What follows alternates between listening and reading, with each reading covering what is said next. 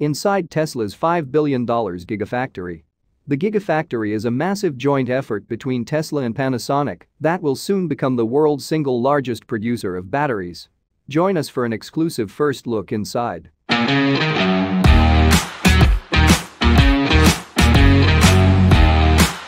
The Model 3 has already been a huge success in many ways. Tesla's more affordable follow-up to the Model S and Model X has clearly captured the hearts and minds and wallets of a large number of people with nearly 400,000 pre-orders. However, it creates a slew of issues for a company that only sold about 50,000 cars last year, the majority of which were priced at more than twice the Model 3's starting price. To be successful, Tesla must significantly increase production while significantly reducing costs. And that's where the Gigafactory comes in. A joint effort between Tesla and Panasonic, the Gigafactory is a $5 billion project that will create the world's premier battery manufacturing facility. The Gigafactory will not only be physically larger than any other cell packing plant on the planet, it'll produce more batteries than the entire industry did back in 2013. That's a lot of batteries, enough to meet Tesla's 500,000 per year manufacturing goals and potentially even more.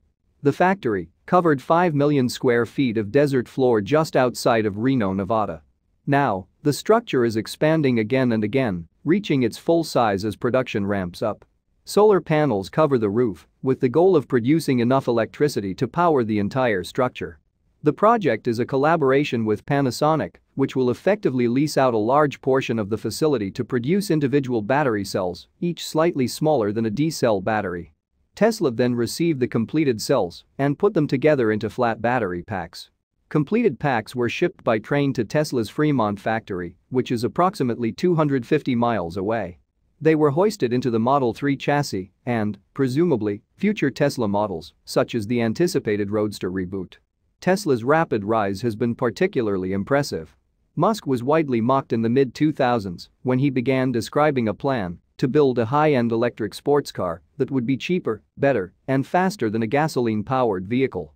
Electric cars were notorious for being slow, impractical, and odd, and no American entrepreneur had established a car company of any kind since Walter Chrysler in 1925. Musk spent years deflecting criticism from nearly every serious automotive expert, nearly bankrupting himself in the process. Nonetheless, Tesla's designs not only made it onto production lines, but they also turned out to be fantastic. Musk also confirmed that Tesla plans to begin mass production of Cybertrucks in 2023 and that he will reveal more details during the company's next earnings call in early 2022. It could be our best product yet, he says. He never fails to surprise us with his crazy ideas. Who knows what he is planning for future? We can just wait and watch. So, guys what will be his next project to blow our mind? Do you have any idea? Just think once because. This question is bouncing around in my head. With this here comes the end of the video. If you liked this video, why not giving it a thumbs up and also subscribe to our channel for future updates. Thanks have a good day.